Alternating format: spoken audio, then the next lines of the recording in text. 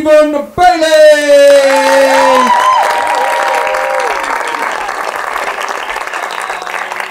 Hi! You alright? Guys, this is going to be such a gear shift because that last lot of stuff was really, really smart, and I've just got dick jokes and a dream. Um, so if you're not into it, I'm literally fucked. And thank you for that introduction. You bellend. Uh, can I just find out who's in really quick? Can all the men give me a cheer? Hi, boys. Hello. and sleep. Um, ladies, can you give me a cheer? Yes. Thank God you're here. I need you the most. Um, any gays? Oh, lady gays. There's nothing I can do with it, but I'll give it a whirl. Um, I'm an equal opportunist, and it's 2017. Uh, I will say though, I am thrilled to be here because I was doing gigs in Glasgow in December, right? And I went out there and I was like, "Where are my gays?" And this voice at the back of the room just went, "Dead." Um,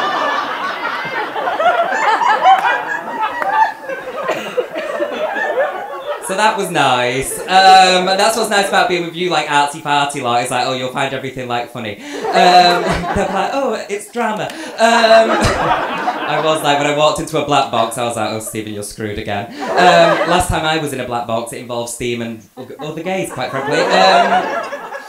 Um, gay sauna joke. Um, Right, I will say, but honestly, like, because I'm from Manchester, so it's nice to be home. and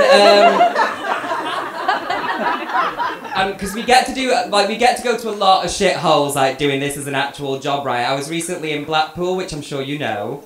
Yeah so you know what it's like? It's kind of like las vegas meets chernobyl. It's not good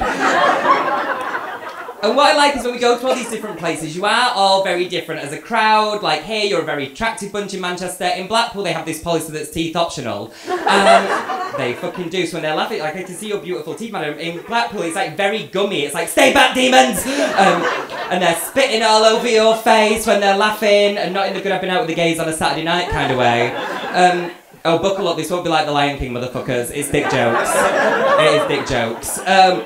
And I'll tell you, so I'll tell you a few things about me, right? One of the things I do when I'm not doing this, I really love you, madam. Um, I really, really do. Um, are you a vegan? Oh, you just look the type. Um, no, I'm really into it. I shouldn't insult you. you you're, you've got to shut up. Um, one of the things I do when I'm not doing this, I had to do warm up for that TV show, Loose Women. Do any of you watch it? Yeah, so a few of you don't work, that's fine. Um, no, that's a lifestyle choice. It keeps me in these suits. Um, and I actually met Jane McDonald, one of the presenters, about a couple of years ago, and I was moaning to Jane, be like, Jane, like, why am I not more famous? Like, why do more people not know my name? And she was like, sweetheart, don't worry about your dreams do come true. She's like, look at me. I'm a loose woman. I'm selling out theatres. And I was like, I'm as shocked as you are, Jane. Um, don't start me on Jamelia either. That is one thick bitch. And I met James, who we're on this show, and it's on Channel 5, and it's called The Wright Stuff. And for those of you who haven't seen it, The Wright Stuff is this early morning, like, news and current affairs show.